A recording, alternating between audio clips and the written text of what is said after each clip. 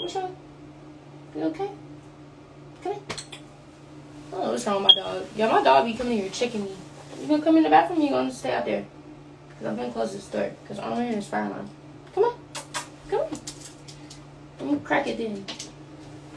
I don't know what be wrong with my dog. He just be coming here looking me in my face. Like, sir, I don't, I don't know what you want. I think I want to wear this blue jean jacket because I don't wear blue jeans at all. I try not to. It's just something about jeans that just give me like regular vibes. But I can't dress. I don't know.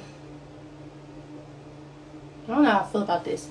Um, I'm mad. The company I bought this wig from, it's fucked up. Like right here, they, bruh. When I show y'all the pictures.